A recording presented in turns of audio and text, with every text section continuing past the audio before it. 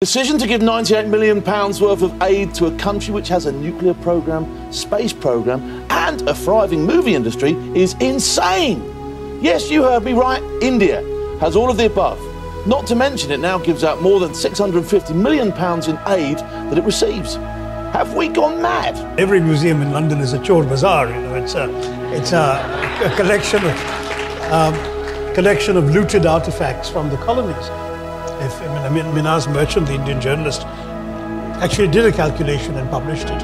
And he came up conservatively with three trillion pounds, which is larger than the entire British GDP. So no one's going to be paying that. My, my suggestion is move away from reparations. Let there be moral atonement. Let the English actually teach um, colonial, unvarnished colonial history in their schools.